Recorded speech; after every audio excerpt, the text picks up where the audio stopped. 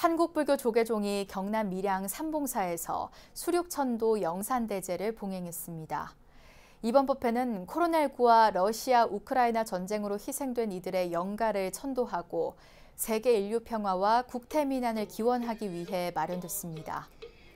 총무원장 노건 스님은 부처님의 대자 대비한 원력의 가피로 코로나19가 종식되고 지구촌이 전쟁 참화 없는 상나 가정의 정토 세계가 되길 간절히 염원한다고 밝혔습니다.